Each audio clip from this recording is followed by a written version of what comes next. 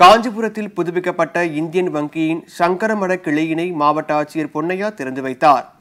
காஞ்சிபுரம் சங்கரமடம் அருகே செயல்பட்டு வந்த இந்தியன் வங்கியின் சங்கரமட கிளை நவீன வசதிகளுடன் புதுப்பிக்கப்பட்டு அதன் திறப்பு விழா நடைபெற்றது. அதையொட்டி திறப்பு விழாவில் சிறப்பு விருந்தினராக காஞ்சிபுரம் மாவட்ட ஆட்சியர் பொன்னையா கலந்து கொண்டு ரிப்பன் வெட்டி குத்துவிளக்கு ஏற்றி திறந்து வைத்தார்.